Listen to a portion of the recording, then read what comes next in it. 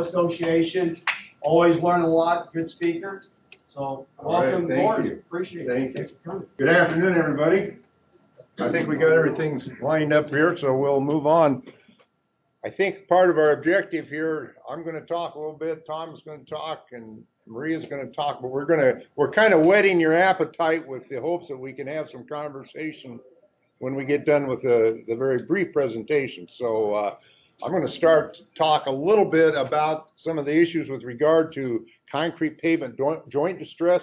The uh, CP Tech Center uh, down at Iowa State has- has been very involved with that for a number of years, working with the uh, National Concrete Consortium states, working with federal highways and others. So I'm going to give you just a little background on that, kind of show you some of the different distresses that we see around, and then focus a little bit on some of what I guess we would maybe call some of the newer distresses that aren't all that new anymore.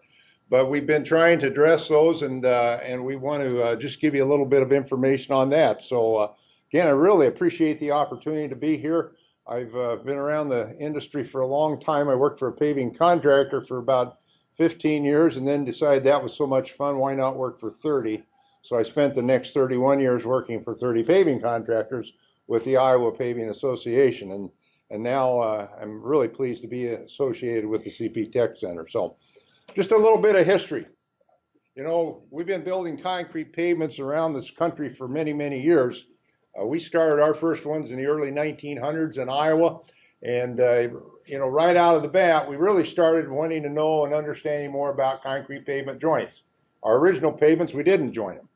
They kind of did their own thing, and we learned from that. And we went from there and tried to put things together. This happens to be a road, a county road uh, over in eastern Iowa that's still there. Was built in 2014 by prisoners from the uh, the local prison, and uh, that was one of the first times that we really had record of actually using joints.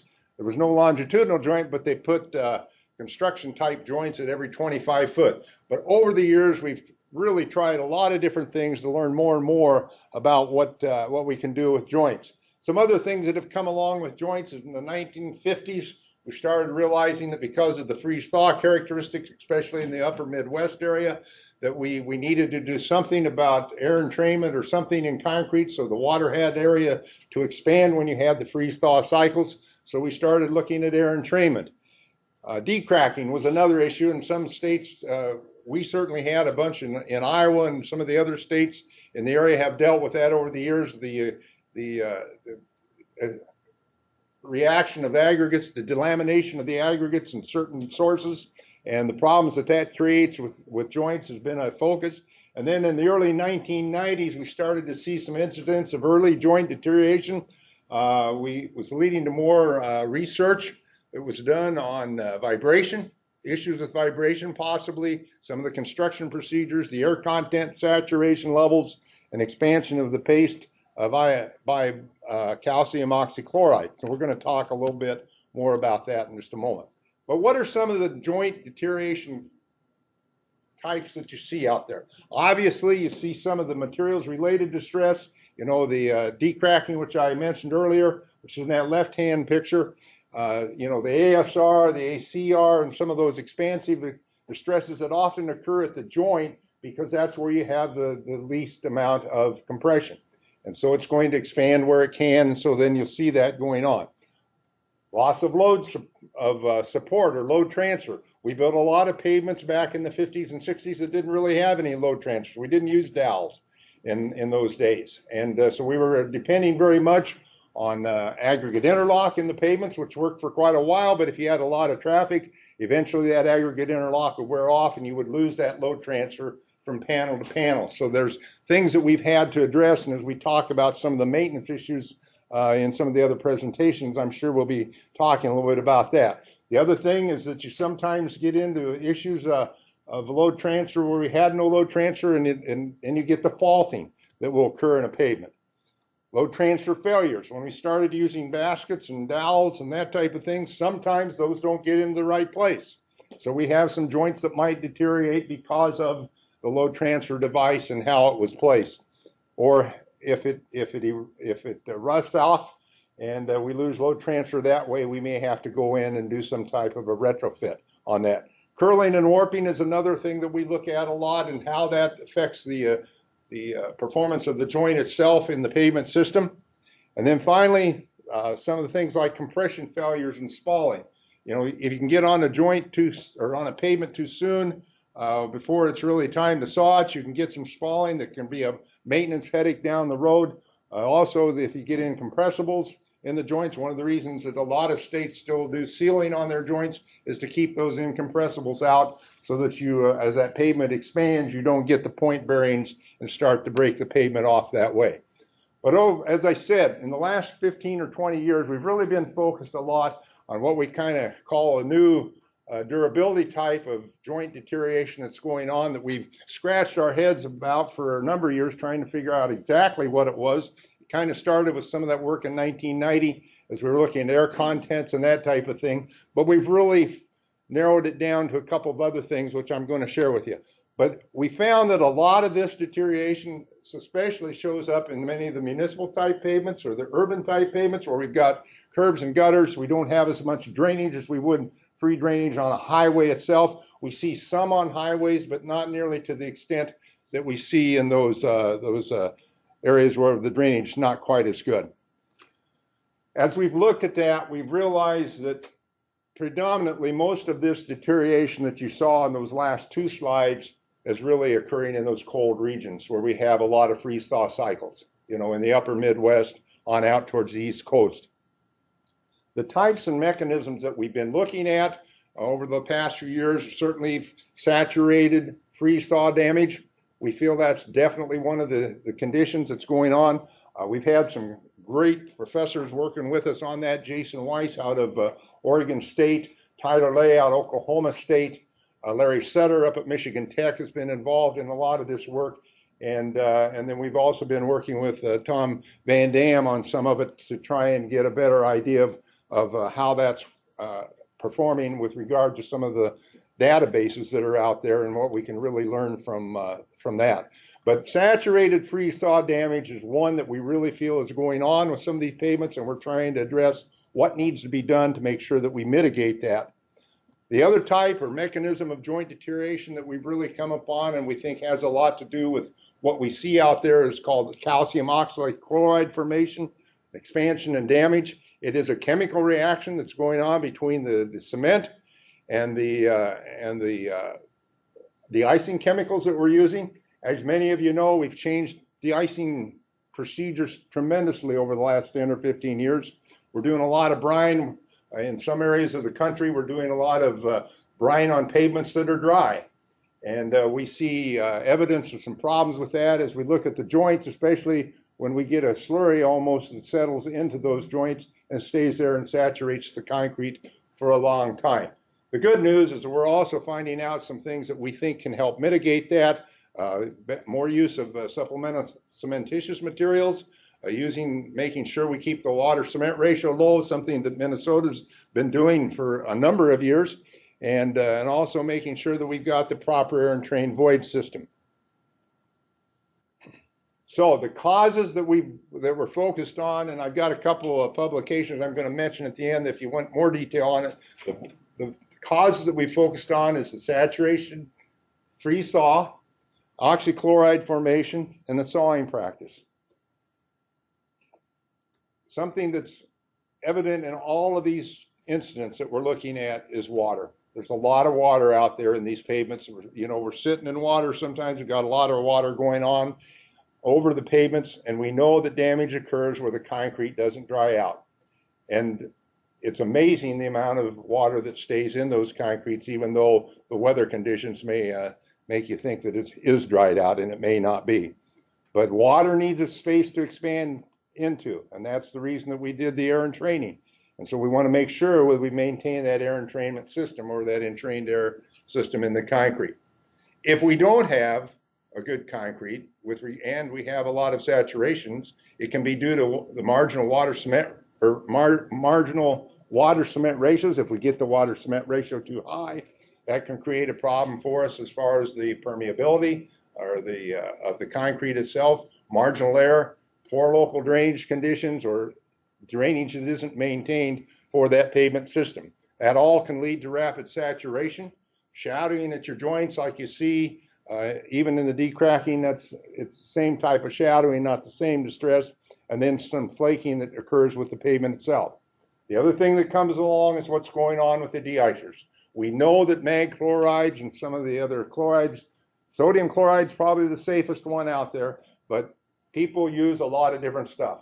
And one of the things we found out with these local agencies, especially the cities, they don't have a lot of background in what's in those de-icing chemicals that they, that they're using. I think our state DOTs understand that probably a lot better, but as we've worked with some of the cities, uh, we've got one major city or suburb of Des Moines that they have got 12 different recipes that they use on their streets, and it all is based on how the traffic levels on that street and how soon they have to get that ice or snow off of the street. In fact, we talked to one of the maintenance workers, and he said, I can tell you which ones are gonna be looking worse, as we were out looking at some of those pavements, because I know what the, the amount of chemical is that we're putting on those. A lot of them are, again, are brine applications. So, uh, certainly, as you can see here from this picture, that mag chloride is drawing moisture into that concrete system, as you can see here. Oxychloride formation, again, this is something that Larry Sutter and Jason Weiss have worked on, and we're learning more and more about that. And uh, it's become quite a, a big project for us. But primar- primarily, what we have there is uh, calcium oxychloride forms, uh, combination of the calcium hydroxide that's in the cement and the chlorides from the salts. That material or that can expand up to 30%. Normal freeze thaw freezing, I think, is around six, seven, or eight percent. This is 30%, and it can happen up in the 40 degree temperature area. So if you get enough of that material in there, this is part of what we believe is happening to these joints where we, you know, 30, 40 years ago didn't see that kind of a problem. Another thing that we've looked at, we've addressed, tried to address is sawing practice. Here you can see that uh, if I'm not going to get into issue of seal, no seal, and we don't have time for that this afternoon. But what we've seen in a lot of indications where we're using backer rods, we got water that's coming up because of subgrade moisture and that type of thing. And we're starting to see this cavitation within the joint itself. And then what you'll see on the pavement top, you're going to start to see a crack maybe three or four inches from the joint and it's popping off. We've got, we had a section of Interstate 35 north of Ames that we had a, a large amount of that. And so we're having to go in and, and do some partial depth patching on that type of thing because honestly, once we get to the bottom of the joint, the concrete's in pretty good shape. But we've got all that moisture sitting there. A lot of it, if the seals aren't working, a lot of that moisture is uh, heavily laced with the chemical that's sitting there drawing the water in. And so you've got a saturated condition in that concrete almost constantly, 24 hours a day, seven days a week, even into the summertime sometimes. So we're trying to address that, looking at, you know what, our objective, hopefully, is to make sure we've got a joint that's deep enough that it cracks so that some moisture can get down through that joint and, uh, and then not have this cavitation problem. All right, I'm pushing on through here. Some of the things that we've uh, looked at as far as preventing joint deterioration in new pavements, soil subgrade and base systems. So we need to probably look seriously to stabilize subgrade or granular subbase and the drainage of the pavement system. And not only that you are draining the pavement system, but you're maintaining the, the drainage of it. We've seen a lot of instances where we've got subdrains along edges of pavements. We go out and look at the outlets and they're not draining and you'll find that there's something in there. So really what you've done is created a bathtub for that pavement to sit in. Other things that we're looking at, as I mentioned earlier, the lower water cement ratios, making sure that we keep those down. Uh, supplementary, supplementary cementitious materials such as slag, fly ash, uh, those types of things. Well-graded aggregates. We got into some problems a few years ago with gap-graded aggregates that didn't really allow us to maintain the air systems and the and the uh, low permeability that we need to have in our concrete. And certainly still, we need to have the air void system. Some of the construction practices, curing. Uh, we want to make sure that we've got adequate coverage and application rate. I know there's several states, you, Minnesota has led in that, the use of the PAMS uh, curing, and I think Wisconsin's using that now, and a couple other states that I've run into. Uh, that certainly seems to be having impact on how some of these pavements are, are performing uh, joint wise. I keep telling the guys in Iowa about that. We maybe need to be looking at that a little carefully because I admire what I see on some of your pavements up here in Minnesota. Sawing window, uh, sawing joints, the window and the depth are important in the construction process. Uh, sealing joints, if you seal it, you need to maintain that seal. That's, that's what I'll say about that. And again, I would say you might want to consider a drainable base, especially if you don't seal. Uh, surface sealers, we're doing some research on that as to whether or not that might help us. Uh, not so much maybe in the early construction, but maybe mitigation down the road. Uh, as far as the maintenance is concerned, routine maintenance that would be required to help these joints perform longer is joint cleaning, joint sealing, surface sealers, drainage. Winter maintenance, this is just kind of an interesting thing that, that addresses the de-icing a little bit. We looked at, the, there's a site that has a lot of information about the amount of de-icing chemicals that are being used by states. Well, we, Iowa got number one on the brine, and uh, it's 20 million gallons a, a year of calcium chloride brine. That seems like a lot of material that's going down on those pavements. And New York actually, uh, they still do uh, the broadcast, you know, not the brine, but just the uh, salt itself, the sodium chloride, 920,866 tons on a system of about 43,000 miles. So we know that that's out there. We have to respond to it in the future. So the game has changed. Water has to be prevented from saturating the concrete. Permeability of the concrete should be as low as possible. The air void system and the in-place concrete must be adequate. The lessons that we've learned are a significant change seems to be the de-icing salts, and we have to learn to live with that.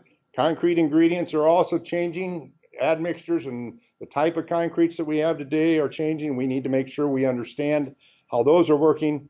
And we have to acknowledge that safety is paramount in most instances, and we need to make better concrete that's able to resist the salts by using the air void system, water cement ratio, and the SCM dosage. Just to close out, one of the things that has come out of all of this work that we've done on the, the mechanisms of the joint deterioration is an effort to try and uh, look at a different way of monitoring or testing our concrete. We have a major pooled fund that's going on right now with like 16 states now are a part of that, where we're looking at what we really feel are the things that matter. Uh, an NC squared group, five or six states out of the NC squared started this a number of years ago, and we established that there were six things that we really needed to look at. It wasn't just slump and air. Uh, what we need to be concerned about is the permeability or the transport properties of the, can, of the concrete, the aggregate stability, the type of aggregate using, uh, the gradation of the aggregate, the strength of the concrete, the cold weather resistance, the shrinkage if we're working in drier locations, and the workability. All those need to be taken into consideration. So in short, what we're trying to do is move towards a lower water cement ratio, uh, considering a 0.4 or less target, adequate air entrainment of 5 to 8%, with 5 being the minimum in place. SCMs, uh, you know, Class C or Class F fly ash or a combination of fly ash and slag, well-graded aggregates, and the use of chemicals appropriately. So, as I mentioned, there are a pub- couple of publications that have been put out by the CP Tech Center and Federal Highways. Uh, so- we're involved in some of this. One is a guide to prevention restoration of early joint deterioration, a joint performance guide, and then there's two uh, uh, what we call map briefs that deal with some of this through two or three page uh, publications that are available on the CP Tech uh, website. So, uh, if you need more information, there it is. I'm gonna, you're next, Tom? John, is he going next? Uh, yeah, Tom's next, but we. So we can just do it all and then get questions, or I- I- however you wanna do it? I'm done. Maybe, how about five minutes, uh, take five minutes. I gotta show this slide. Question for you, Brendan.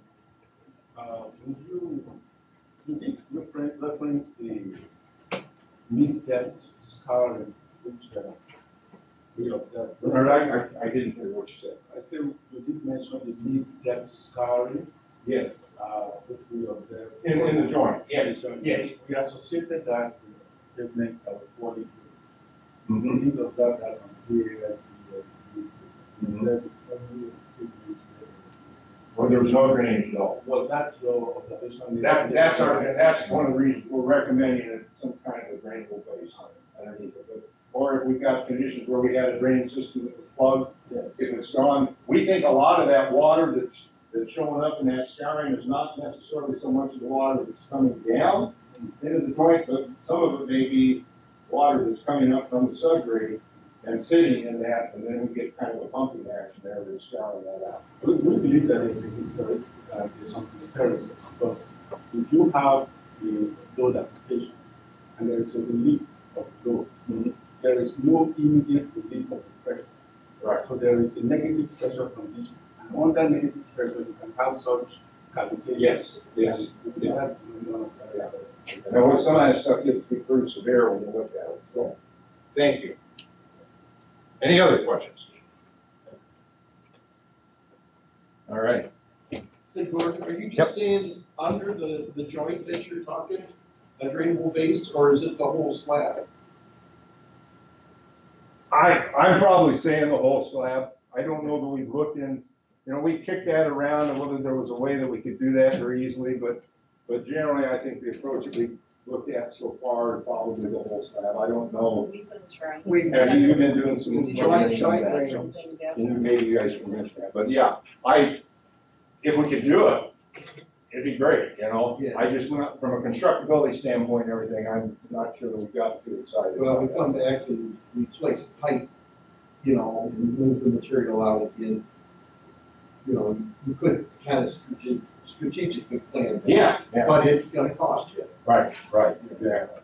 Okay, thank you.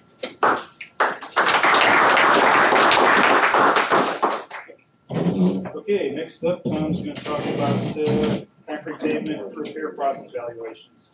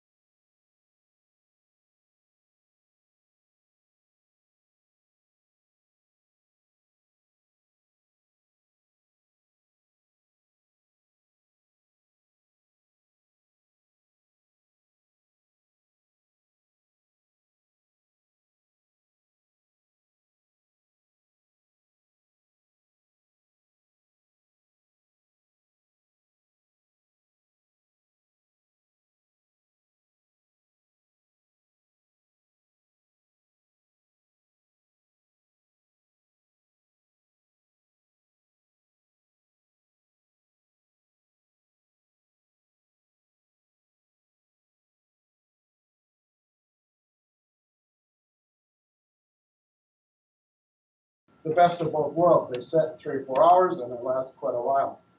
So really, so, we've done a number of product evaluations at the MnROAD facility here to look at, you know, what are the, some successful products that we can use. So I'll go over those, some of those today. Once we get it in presentation mode here.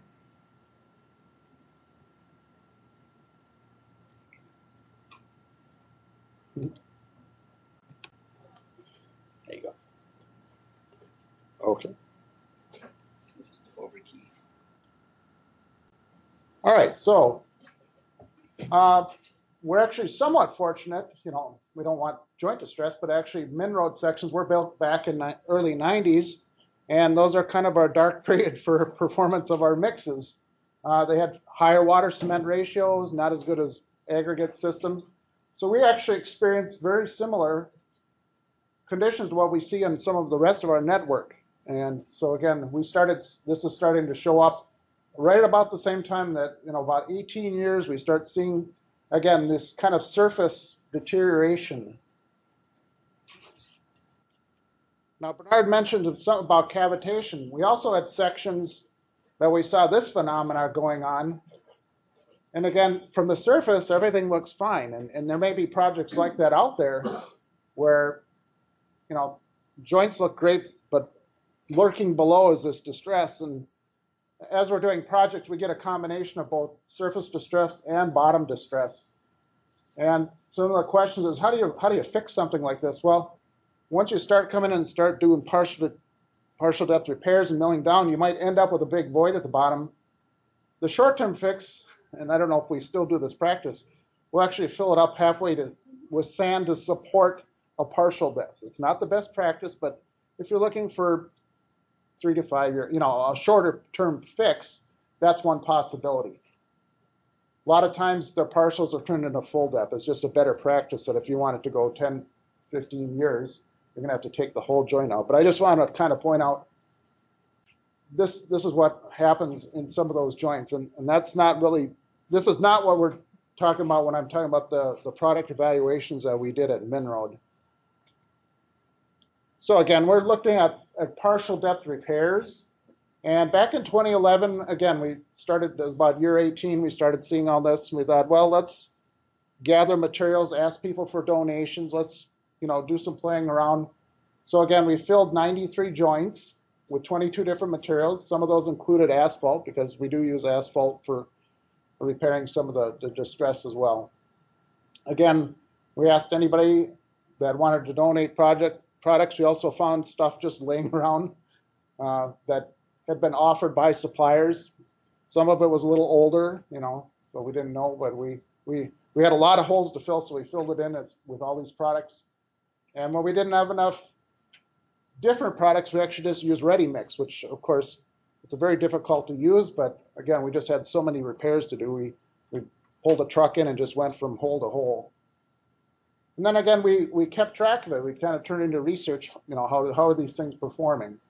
And two years ago, I finished a report. It's available on the web there. You can uh, uh, kind of look at the performance. And I'll just briefly go over what, you know, how things turned out.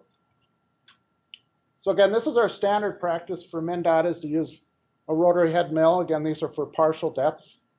So you're just bring it in and remove what you see at the top, a little bit on the edge. It creates a nice rugged surface, and then we come and it's very important to get it very clean, and then use sandblasting to get a lot of surface area to bond to.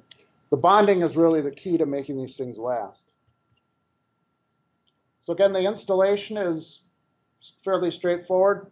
One of the things for if you have a cementitious type material, we have had good luck with uh, using kind of a, a mortar, you know, kind of a cement, sand, prime mortar and wet the, you want to get to really stick to the, the clean uh, prepared surface. Grout's probably a better word. A grout, okay, It's- Yeah, grout. yeah, okay. And then uh, it's very important to reestablish your, your working joints or cracks again. So again, this, this uh, repair here on the right-hand side was done with Ready Mix. Again, it's difficult because it had larger aggregates, not really designed to be a, for a small area, but we, it's difficult, but you can do it. And uh, that's one of our workers there putting it in on the left-hand side. And then again, we also had the suppliers put their materials in.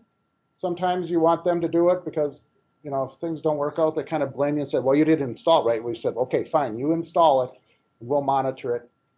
And you can see some of them, the, the, the people on the right did uh, decide to reestablish a joint. The people on the left put their in, they did not reestablish the joint. So it was done both ways. So this is just a list of the products that we had laying around or used. Um, we didn't have a real sound plan planned out later. I'll talk about the, our effort we did last year, but in this case, uh, we just kind of threw in various holes. And you can see again, we had a lot more cementitious products than we had. We had a few epoxy type based products that we also, and then also some asphalt products. You didn't have any outdoor products like Techcrete or Fibercrete? Not in this round, no. Again, we had some spray patch out of a, like a blower, blow patch machine. But in this case, uh, last year we did, and I'll, I'll come to that later. So some of the performance parameters, of course, it's kind of important. Is it going to be loaded or not? So again, location, is it, you know, it might be a little easier to to patch something in the center line where it's not being hit by tires all the time. Also, traffic, again, we can compare our driving versus passing lane is about 80, 20% traffic split. As far as condition, um, we created a subjective scale, anywhere from zero, meaning at the end of the three-year period, we, we monitored, monitored these for three years. If it was gone and replaced by asphalt patch or something, it was a zero, and if it was five, it was still there and it still looked new, and we, we had both. And then, of course, bonding, again, is very important. Um, early on, we didn't really monitor bonding, but uh, near the end, again, we took carefully took a ball peen hammer and just sounded it. if it sounded hollow, and or or even if you could break it off, you know, that's kind of the test. So then, this is just part of uh, the evaluations. It's not all of it, but again, you can see, kind of starting in February 2012. Even by that time, again, these are installed in 2011 some were already down to a two, so you know some of them was already missing material. But others, you know, went along pretty well. And again, we just systematically, periodically went out and evaluated these things.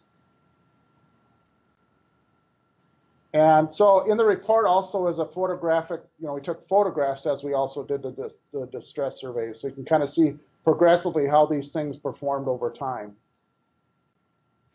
So again, I don't have really time today to get into specifics, but um, he had to put up names, you know, but uh, these are the ones that actually performed well and, and were at least on a four out of the five ranking at the end of the the three-year uh, period of analysis. So the best performing is Ready Mix, which again is not practical to use, but wow, but ours- I, yeah, I mean, it's, and it's slow, and nobody's really going to use Ready Mix, but um, you know, if you're slow and do it right, it makes sense. It, it's compatible with the existing pavement, which is an important parameter. Uh, pavement was was one of the cementitious ones that actually did well, and then this Propoxy also did very well, and that's an, epoxy based. Uh, rapid set, so 3U8 TCC 3U18 is our standard, and uh, you know it continues to perform well. And then hot mix asphalt works if, if you roll it, you know, not the throw and goal that we see see a lot, but if if you put it in there and, and you compact it well, it will stand and actually makes a, a very good patch. How many hours was it taking uh, to get opening strength readiness? We were not monitoring it. We had, we had time. We had the yeah, so we did not. This was a kind of a rude and crude experiment at the time, so we're getting a little more scientific as we go through with our efforts. And the other thing, when you had other, I mean, you said some, uh, some of the uh, suppliers or vendors weren't uh, forming the joint. Mhm. Were they all using similar surface prep, uh, uh, with uh, milling and? Yeah, we, we prepared the holes and they installed their products. Yep, hmm yep, Tom, yes. the list that you have there, is that, and maybe I just missed this, is that the very best, well, descending in order in terms of performance or not really? Yeah, somewhat, I would say yes, but again, you know, we try not to, again, because of the subjectivity and some of these only had one hole where they had the product, it's really not fair to, you know, rank anything. Again, you can look at the report, and look at the photos, but again, you have to be very careful. It wasn't a real scientifically laid out experiment. It was, let's throw it out there, see how it does, you know, get some information at this point. And then in terms of curing of these various products, were they cured, uh, based on the manufacturer's recommendations, or were they just all cured the same? It, it varied. I think a lot of them we put plastic over because we had, again we had time. We had the this was on the main line. We had traffic off of it for a week, so we would use plastic, mostly plastic with water. You know, water it down, put plastic, and keep it on for several days was kind of the curing method. Not you know no no curing compounds, and of course your epoxy based ones would just they don't need the curing. So.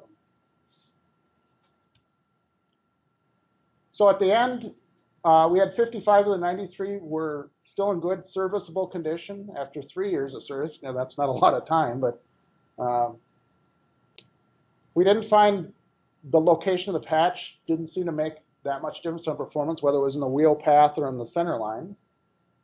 Uh, again, certain materials were installed by suppliers. Some were not. You know, they didn't follow. and They didn't reestablish the, the joint. That did have an impact on some of the uh, the performance. But again, each material type, whether it's cementitious, epoxy, or hot mix, you know, there was some good and some poor performing. So again, you know, your, even your, where you, you guess to do your milling, you might miss a little bit and you're gonna lose the edge or something like that. So again. Now, before, I- I'd also like to mention another material that we've been kind of experimenting back, back in 2015 was the use of roller compacted concrete as a, a patching material. Uh, just for the fact that, you know, the very nature of it, you could throw it in and you could load it early because you're kind of just compacting it further. You know, when you're talking about a very small area, it has, it has nowhere to go. Now, you, you don't want to be doing long panels where you might get into some flexural cracking, but it's actually been a very good material. It's, it's a little tricky to place, uh, as i I'll show you in the next slide, but again, this has actually been working pretty well, and it's kind of a neat concept, and we're continuing to kind of experiment with it as, as a material. For those of you who aren't familiar with roller compacted, it's, it's like a zero slump. And again, it's compacted. Typically, if you're going to do a pavement, you're going to want a very high density with a high density paver. In this case, we're using maintenance roller. And that's what you see here is just, just using a small maintenance because we want to mimic what a maintenance crew would have at their disposal. The tricky part is you got to have you have to determine the surcharge because as you compact, it'll come down. And it's not a material you can kind of just feather on. You have to, so we actually create a little side form here and put it out and then measure how far the, the compactor pushes it down and then we can kind of use that to judge how to fill in the hole. Now, if you had the, if you're fortunate after repairs that you can come back and diamond grind, then this is not an issue, but we were, we did not have diamond grinding after repairs. But it, it's actually performing pretty well. Um, our next challenge will be, uh, again, to, to try this with dowel bars. Because right now, none of these patches had any kind of load transfer um, going, going across it. So here's a photograph on the low volume road of one of these. And this is right before we are going to tear it out because we're re replacing this particular test section. But it was in very good condition after three years. You can see all the all the concrete around it's cracked. So it was put in a very broken up area, but it, it actually uh, held up very well. Now, last year, as part of the National Road Research Alliance, uh, Jerry this morning showed some of the, the patching material evaluation that's going on.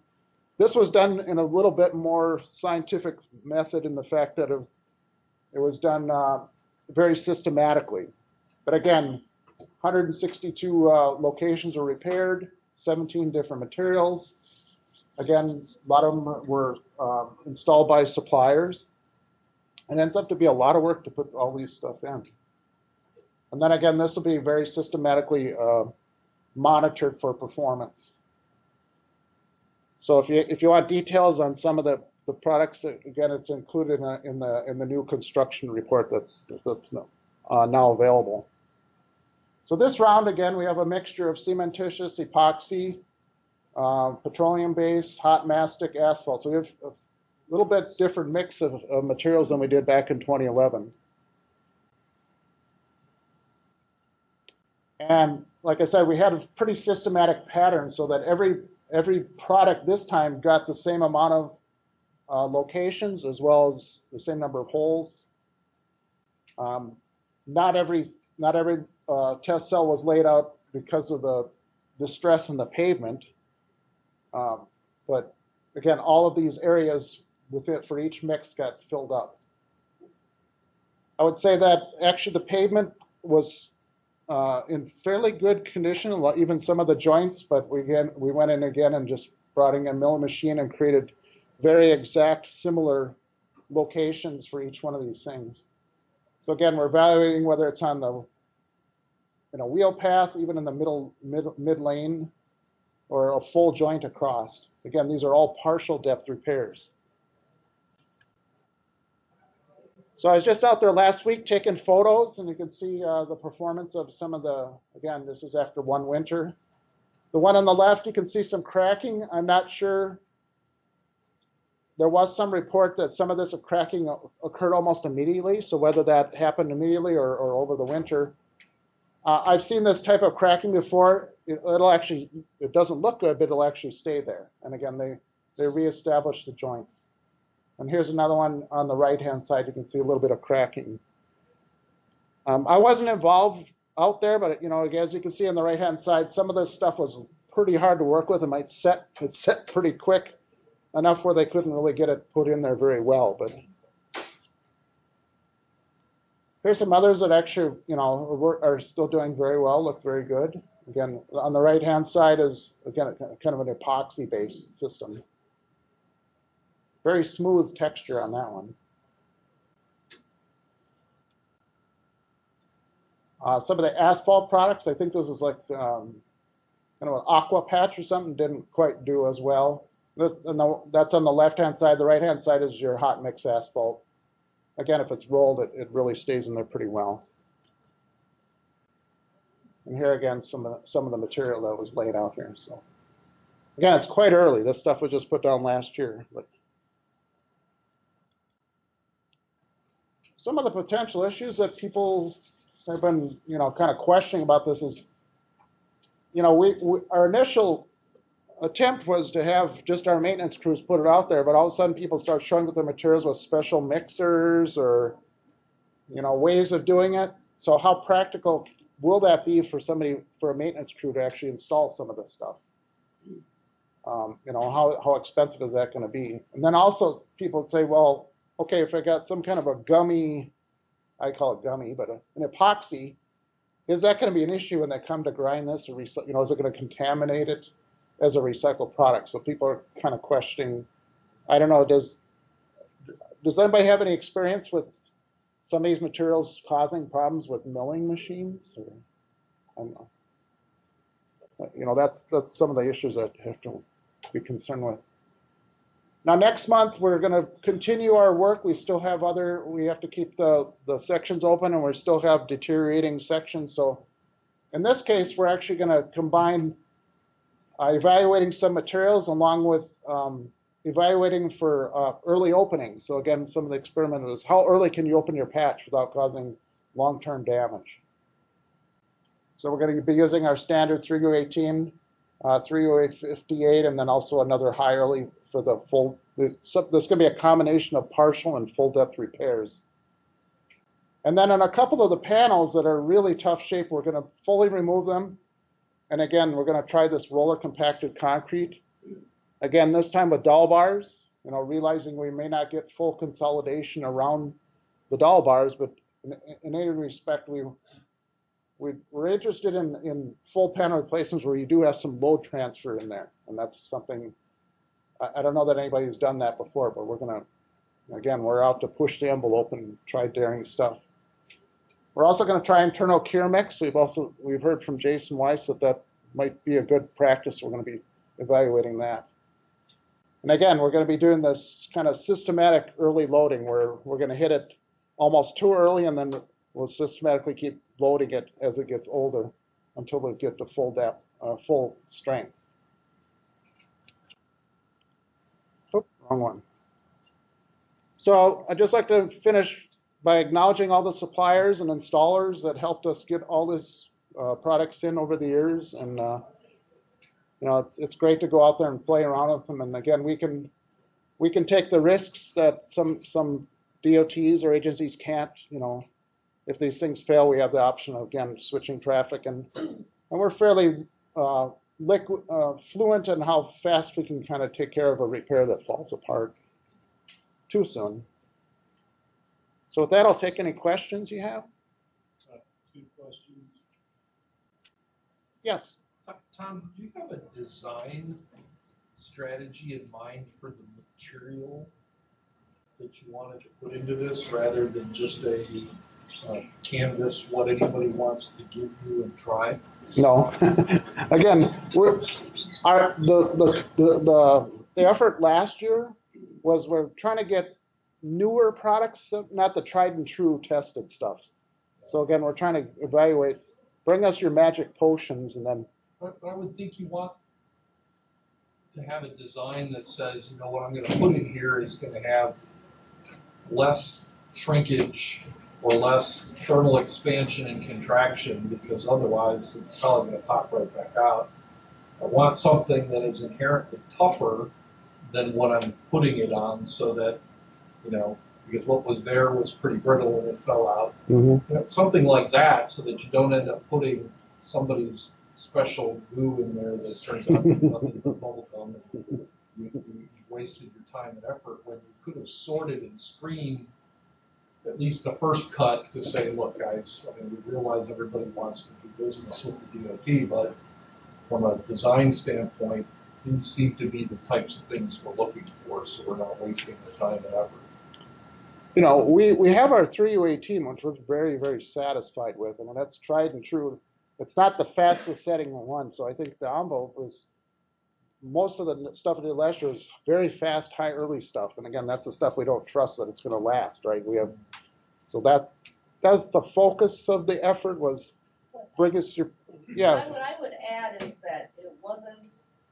anyone wanted to give us something. I would say that we worked with, um, the Rigid Group, worked with the Preventive Yeah. Group, we worked with the IDGA, and we worked with the DOTs, the member states, and said which ones have you had experience with, which ones would you like to try?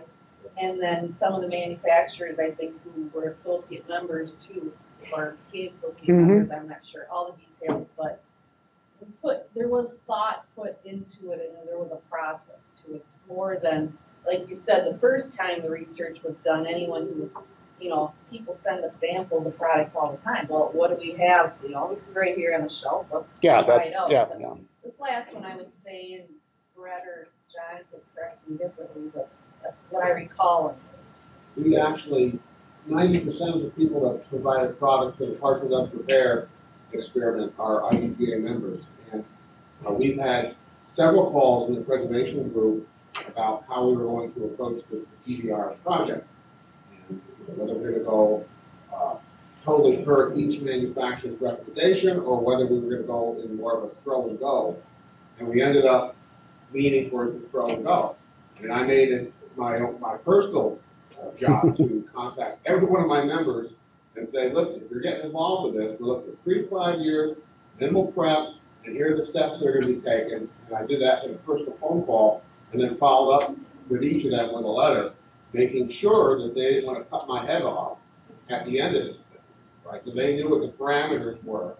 And there's, there's only two or three that were not members that were involved, that I, I don't know if they got that same level of communication, but I made it a point to, to save my own skin at the end of this thing, to be sure that they were clear.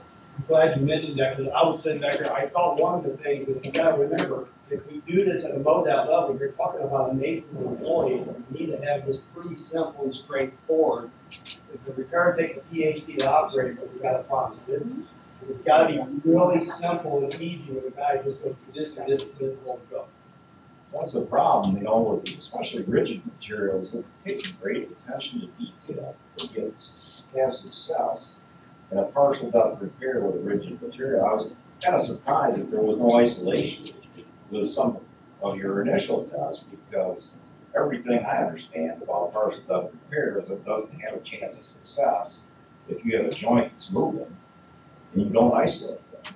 So, Yeah, and again, a lot of that has to do, and it has to do with DOT culture too, you know, as far as the time and effort really that it takes to have a successful repair, and that's why some maybe alternative options that you don't have to isolate, that have a little flexibility that will move, might be a better option for some DOTs. yeah, Now, uh, all of this was installed by one contractor, right?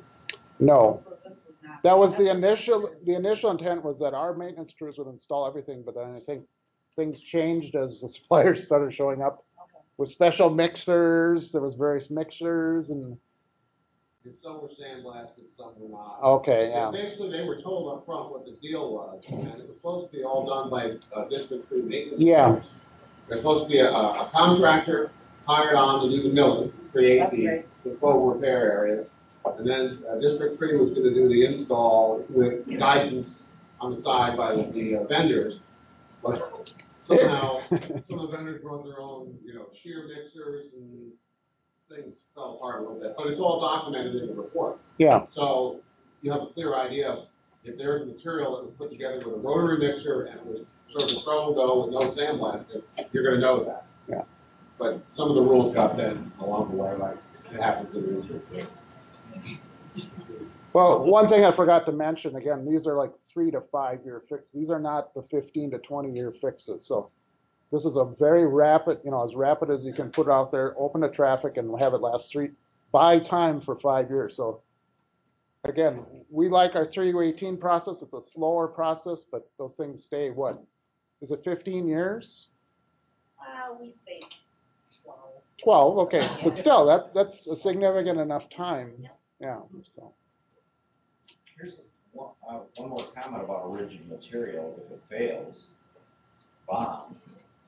can come out in chunks. Oh, yeah. Which really creates a safety, Yeah, yeah. so that's another thing to consider. But we don't see, we just, if they're done probably by a good contractor, and again, this paste is part of the key too, right? Grout, Yeah. Yeah, the, the, the But priming now grout. actually- Our spec actually allows them to either use water or the grout, except for three U eighteen, based upon some research that Sean Dave did. Mhm. Um, because some of the proprietary stuff says use water, bonding Yeah. agents, so you said, it's up to you, but we have the war, we have the thirty day warranty. So after it's either ground or the repairs and until come back to traffic. Or after the repairs are completed, they, we have thirty days to go back and review them, if they didn't fail. Even if they put traffic on it, then they have to repair it at no cost to us. So bonding, it's better to do it right the first time, whichever way works, material. Our experience in Missouri is that surface prep and restoring joint or prep overshadows. the Is up there someone? Maria's next. She's the closing act. Bring your lighters. You can pull. Give me a look. You have seven minutes, maybe one extra, because we got a later start. You only got, how many slides you got? Thirty? Twenty-five. How many? Twenty-five. Oh, yeah, I've been watching, this one had thirty and this one had twenty-five too, so I, even though I had ten minutes like them. We could go a little long, don't worry about it. No, I don't have to. We're Going to MnROAD afterwards, so. This is Maria Masten. Everybody should know who Maria is. Chairperson of the National Concrete Consortium. Sorry, I was waiting for the image. very knowledgeable. Gonna talk about the study you did on aprons. I mean, I know Minnesota's had a lot of issues with their baskets shifting and moving around. And this research, she's gonna talk about kind of what they found and what they did. All right, well, I am the six minutes person, so we'll see how far I can go. Two slides a minute. Well, four slides a minute. All right, so today I'm going to talk about findings from a study on dowel bar anchorage and full depth concrete repairs. So not necessarily related to new construction, although we're applying it to new construction, more so related to our concrete pavement rehabilitation. So kind of give you a little bit of background, uh, for years, I mean, I think since the mid 80s, we've been doing full depth concrete pavement repairs and have generally had really, really good success. Well, we came to a point where we thought, hmm, you know, you only need three dowel bars, and not even necessarily depending on traffic, three dowel bars per wheel path for um, dowel bar retrofits. So could we take dowel bars out of our full depth repairs and see the same performance? And so we uh, had went from our 11 bar full depth repairs to six bar full depth repairs on a couple projects, and one of those happened to be Interstate 90. And so the contractor came in and they did their full depth repairs. And uh, within, after the first winter, we were getting phone calls already saying the road's fault, you know, they're feeling a thump, thump, thump, thump already. And so we went out and did some investigation on it and just kind of wanted to show you in the upper corner. No mouse here. Can you see that? Nope. All right. Well, the upper left corner, that is the longitudinal. And so you can see how that panel actually was sunk. And then this is the view um, and the joint going across horizontally. That's the longitudinal joint there. And so, and then this is just a, um, a view with our pavement management equipment. And so you can see the full depth repair here and here. And you could actually see from, this is the longitudinal profile, you could actually see that that depth repair had shifted. And uh, this joint happened to have six dowel bars in it, and actually all of them on this project did. So to give you a bit of an idea, uh, this project is, is down in District seven, but it's on Interstate ninety, we put six dowel bars in. It Had twenty-five point four percent trucks in it, so that's, that's a good number of trucks, uh, average daily traffic, seven thousand six hundred and sixty-eight, so, uh, what this data is showing you is, on the left side is the IRI, so this is from our pavement management data, and every line is just every, um, mile in this segment of roadway. Give you an idea, so in two thousand seven, which is the first data point, the IRI averaged between one twenty and one fifty. 2009 was the peak before we did the repairs, and it was anywhere from 155 to 195. We came in and we did our full depth repairs, and in 2010, those full depth repairs brought us back down into the 70 to 85 inches per mile. Then uh, two years later, we're almost back up into the 180s, and so that's not what we expect when we do our full depth repairs. Um, pretty confidently we get 15 to 20 years with full depth repairs in our performance. So this was very frustrating to us. So we started doing some more investigation on it. And so this is what we found. We ended up bringing the FWD out there and we did some load transfer testing on Interstate 90. And this is an example of three of the different joints that we tested. So you can see in the top one, joint C1, we took the cores right at the edge a line uh, adjacent to the joint right over one of the dowel bars. And you can see the FWD testing was at 50% load transfer. All right, that's right. So if you look at the left picture where it says surface side, you can see that even though when we anchor dowel bars, we should have material all the way around them, flush with them, that there actually you could see no material. And this was within two years of when it was constructed.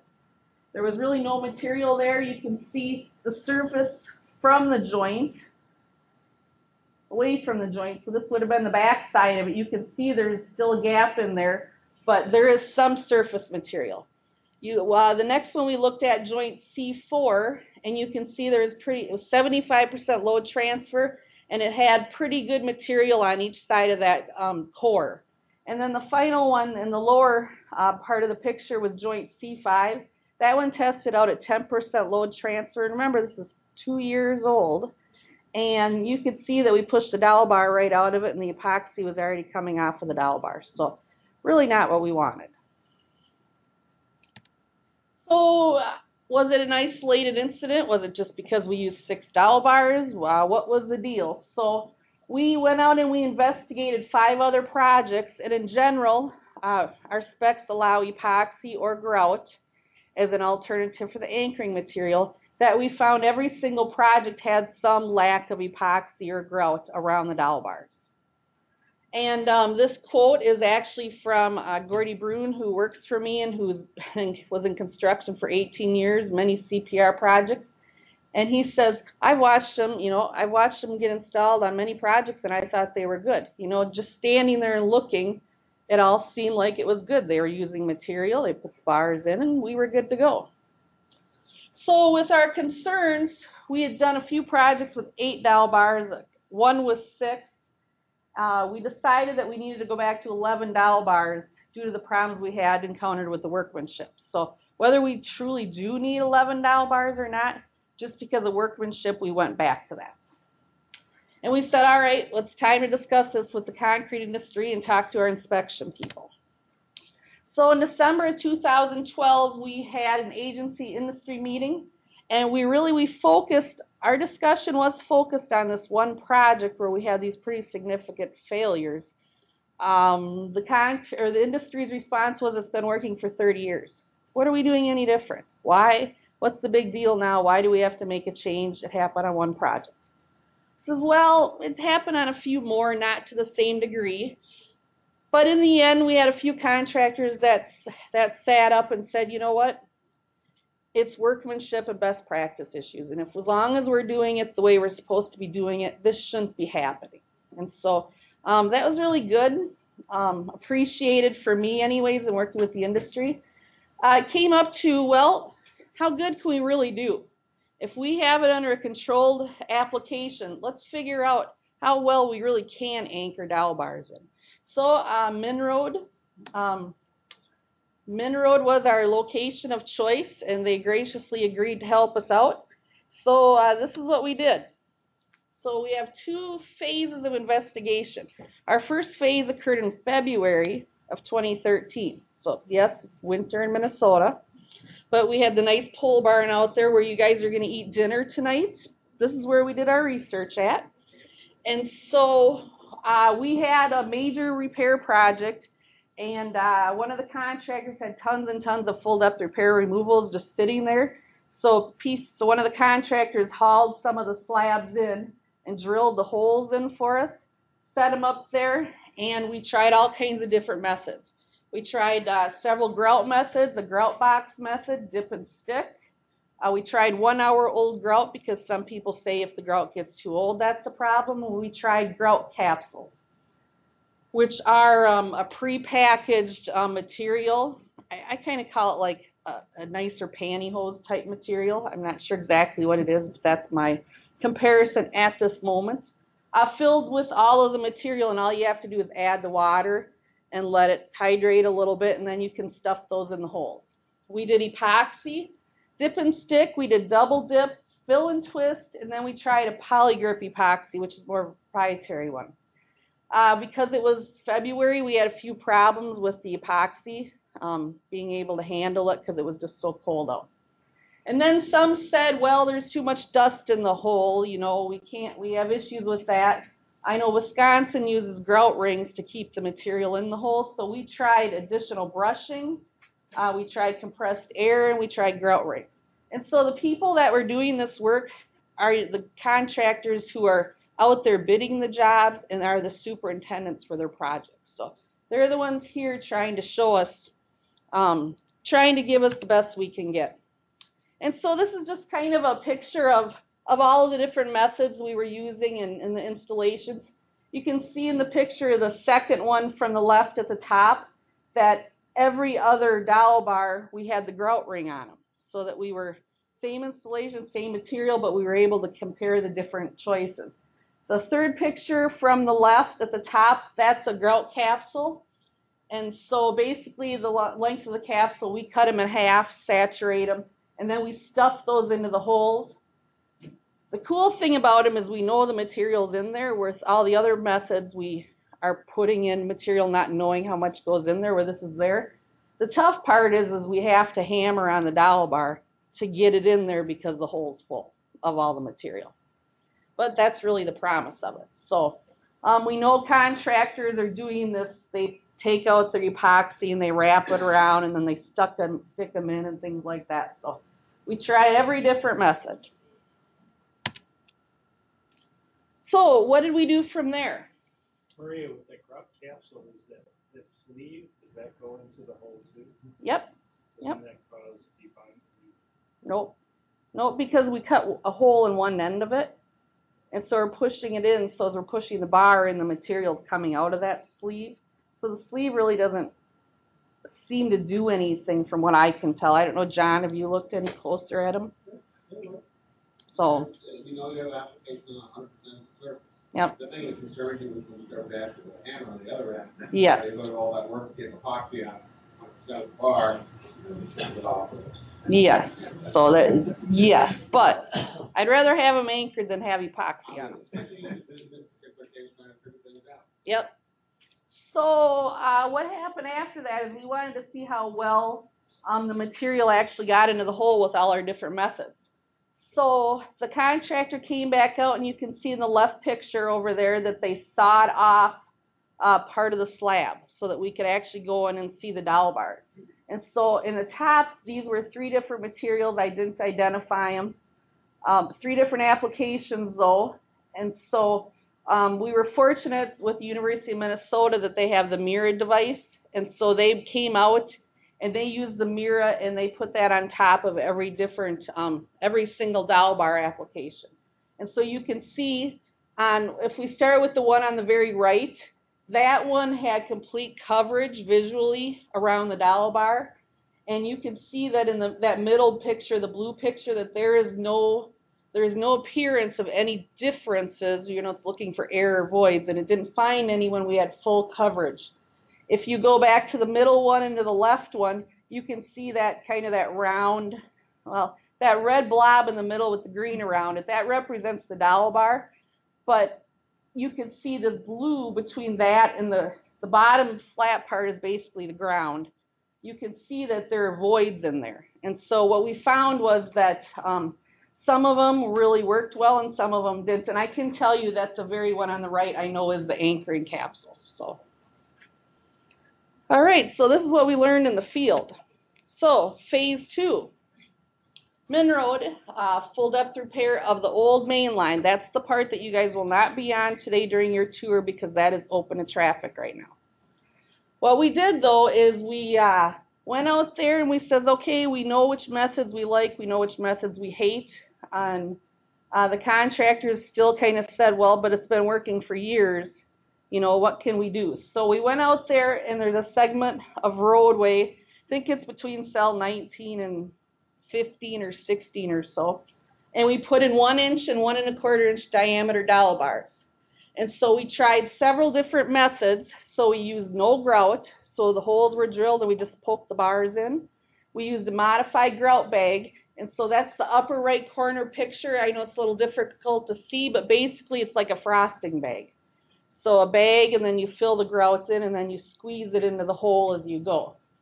And then the bottom right is that grout capsule. So on the left you can see it in its form, and then in the right, I know they're a little difficult to see, but you can see it bubbling. So it bubbles up, and I think two minutes is what sticks in my mind how long they get soaked, and then they get taken out and stuffed into the hole. So we had our controlled location. Um, MnROAD has been so kind to do um, seasonable FWD testing for us so we can see if there's changes in load transfer and deflection. Uh, we really haven't done much, any coring of it yet. Um, our hope was to have like a five-year study and MnROAD's been accommodating to help us with that and monitoring it over time. So to give you an idea just of traffic, what it was constructed on was nine inches of jointed reinforced over six inches of class six base and clay, uh, 13% trucks, and um, since the test section installations, and this only goes back to 2016, uh, the average or the rigid ESALs that have been on that pavement are 800 or let's 1.7 million ESALs. Uh, so it's a good amount of traffic, and uh, normally it's got traffic 25% of the year. Would you say? Give or take, Yeah. um, because of some other construction activities. Uh, in 2016, there was a large amount of traffic on it because of work that was being done on the other lane. But a lot of traffic, more than a lot of our roads. So what were we trying to figure out is we wanted to know with real traffic what kind of um, load transfer efficiency we were seeing with these different methods and what kind of deflection. And so as I read, typical action thresholds are from 50 to 70% for load transfer efficiency. And uh, the maximum differential deflection criteria Larson and Smith published of 5 mils max may help evaluate dowel looseness. So these were our guides that we were using as we've evaluated it. And so this is what we've done. So this I know is a very busy slide. Uh, and so all of the different test methods or all the different applications are on the lower bottom. In the upper right corner, you can see the blue rectangle. That's where the FWD just dropped my mind. The drop. That's where the drop, right? The load plate. See, it tripped my mind. Thank you. That's where the load plate sat, and traffic is going to the right. And so this um, data represents load transfer efficiency from the approach pavement and I have a line drawn on the left axis of 70% LTE. The very left bar is blue in each one of the different cells, and that was pre um, full depth repairs occurring. And the second one is one month after the first reading, and that was post. So you can see after the repairs were done, every one of them went above that 70%. Otherwise, load transfer was 20 to 30% out there on all of the joints. What I want to point out is the very right joint is the control. So we didn't do anything. That those are still what it was before we did any repairs to the rest. The other two circled ones is no grout, one and one and a quarter inch diameter dowel.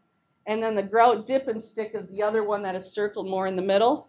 And so what I wanted to show you with all the data is those are the three that really have fallen off on their load transfer efficiency in a very short time, which told us that we like the, the grout bag application and the grout capsule and the epoxy seem to be performing also.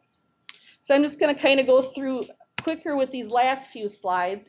Uh, the load plate is shifted onto the repair. We did not have pre-test data on this location, but you can see once again the load transfer efficiency for the dip and stick and the no grout went down quite a bit.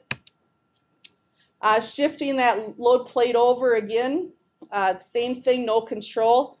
The no grout and the grout dip and stick were starting to drop below. You can see though that with the larger diameter dowel bar, um, that the load transfer efficiency is hanging in there better than um, with the one inch bars. Uh, this is uh, shifted one more, and so we have the control again, and then we have the pre and the post, but once again, it's those same three that are just not staying in the game. Differential deflection, uh, same entire process, but I have circled those same three again to show you. That's the 5 mils max for dowel bar looseness. And you can see that all the other applications are doing really well. The blue once again is before the repairs were done, except the controls almost to the max. Doing nothing was better than drilling holes and putting dowel bars in with no grout. So do nothing may be better, but I'd still rather have one of these. So, and just I'm just walking you across the data again to show you the ones that um, we have more issues with. And then the final piece of data that we have is pavement smoothness. We did not, um, MnROAD has collected this data also. We did not get readings prior to doing the repairs, so we've kind of picked up on this later. I circled the ones that we had the concerns with, but we're not seeing a lot of change with the traffic or the smoothness, but I don't know what it was right after the repair either. There was no grinding or, or texture. This was diamond ground. So, so in a nutshell, that's um, that's quickly what we've done. Our current specs allow um, grout bag, um, grout capsules, and then epoxy. And what we do on every job now is they have to do it. They cut a repair. They have to install in whatever method they're going to do, and require them to core through the dowel bar to demonstrate that their method actually got material in the holes. And then we'll allow them to continue on. And we have random coring after that. And we've had projects, random coring, where there's been no material. And so we've gone back. We've even retrofit a full depth repair. So we couldn't have done this without the concrete industry and research. We did, we did this with no money. Everything was donated and, and then all of our times were put into it. So um, that's why there's no report yet because I haven't done it. But um, it'll come. Research is helping me and they've helped me in the past. But and that's it. So thanks.